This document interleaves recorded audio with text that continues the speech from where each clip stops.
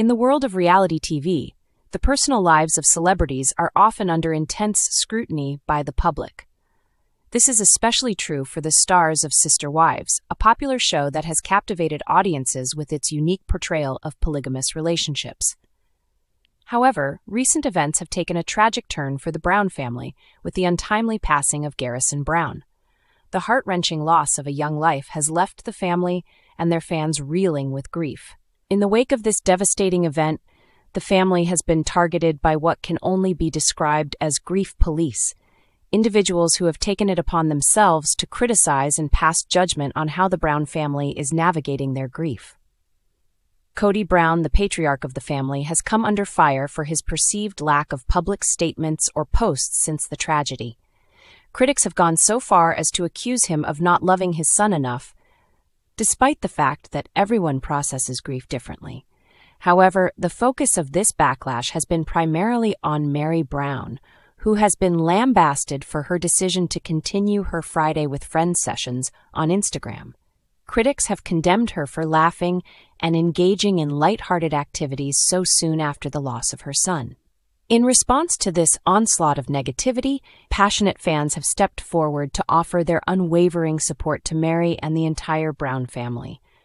One fan in particular took to Reddit to defend Meri's actions, stating that laughter can be a crucial part of the healing process for those who have suffered a loss.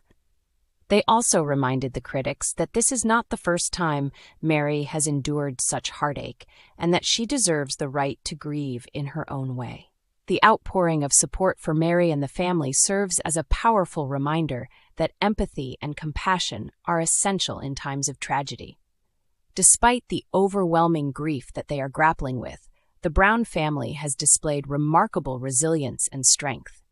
Each member has found their own way to cope with the loss, whether it's through sharing cherished memories on social media or using their platforms to advocate for mental health awareness. This poignant display of vulnerability and resilience is a testament to the human spirit's capacity to endure and overcome even the most devastating of losses.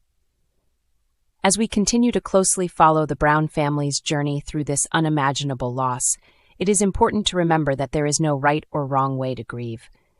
Each person's journey through grief is deeply personal and unique, and it is not for others to pass judgment or impose their expectations onto those who are suffering.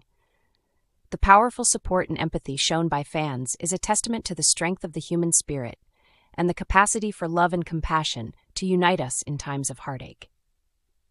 In conclusion, the Brown family's experience serves as a powerful reminder of the importance of kindness and understanding in the face of tragedy. Let us continue to support and uplift one another and extend compassion and empathy to those who are navigating the difficult terrain of grief and let us honor the memory of Garrison Brown by fostering a world that is more understanding, more loving, and more supportive of those who are in need. Thank you for joining us on this emotional journey, and we look forward to bringing you more updates on the Brown family's story.